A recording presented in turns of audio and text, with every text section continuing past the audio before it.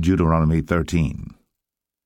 If there arise among you a prophet, or a dreamer of dreams, and giveth thee a sign or a wonder,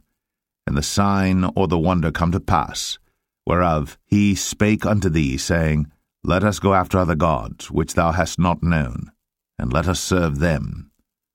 Thou shalt not hearken unto the words of that prophet, or that dreamer of dreams. For the Lord your God proveth you, to know whether ye love the Lord your God with all your heart, and with all your soul. Ye shall walk after the Lord your God, and fear him, and keep his commandments, and obey his voice. And ye shall serve him, and cleave unto him. And that prophet, or that dreamer of dreams, shall be put to death, because he hath spoken to turn you away from the Lord your God, which brought you out of the land of Egypt, and redeemed you out of the house of bondage, to thrust thee out of the way, which the Lord thy God commanded thee to walk in so shalt thou put the evil away from the midst of thee. If thy brother, the son of thy mother, or thy son, or thy daughter, or the wife of thy bosom, or thy friend, which is as thine own soul, entice thee secretly, saying, Let us go and serve other gods, which thou hast not known, thou nor thy fathers, namely of the gods of the people which are round about you, nigh unto thee, or far off from thee, from the one end of the earth even unto the other end of the earth. Thou shalt not consent unto him, nor hearken unto him, neither shall thine eye pity him, neither shalt thou spare, neither shalt thou conceal him. But thou shalt surely kill him. Thine hand shall be first upon him to put him to death, and afterwards the hand of all the people. And thou shalt stone him with stones, that he die,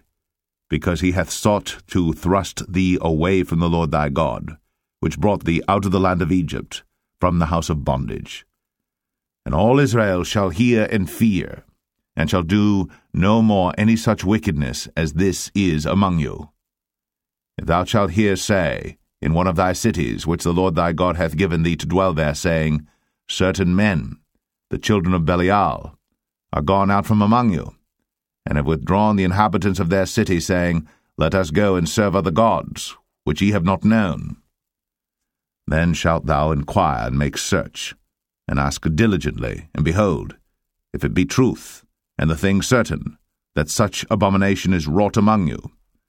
thou shalt surely smite the inhabitants of that city with the edge of the sword, destroying it utterly, and all that is therein, and the cattle thereof, with the edge of the sword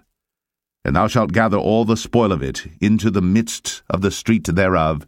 and shalt burn with fire the city, and all the spoil thereof every whit, for the Lord thy God, and it shall be an heap for ever. It shall not be built again. And there shall cleave not of the cursed thing to thine hand, that the Lord may turn from the fierceness of his anger, and show thee mercy, and have compassion upon thee, and multiply thee, as he has sworn unto thy fathers when thou shalt hearken to the voice of the Lord thy God, to keep all his commandments which I command thee this day, to do that which is right in the eyes of the Lord thy God.